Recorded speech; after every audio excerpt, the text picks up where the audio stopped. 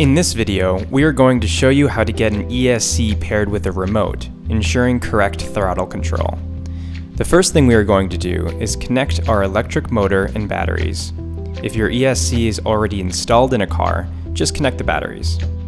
To perform this pairing process, you need to have a remote receiver connected to the long red, white, and black cable seen here.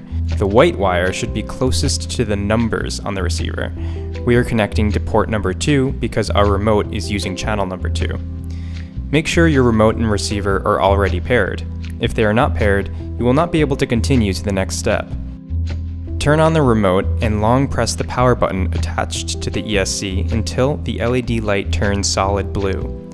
Then, hold full throttle on your remote until the light stops flashing red.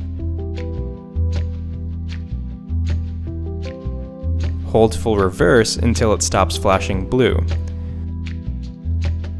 Finally, let the throttle rest in a neutral position until it stops flashing purple.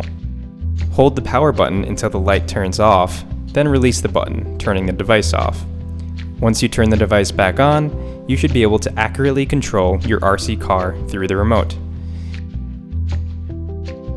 If you would like to learn more about our products, visit cinegears.com.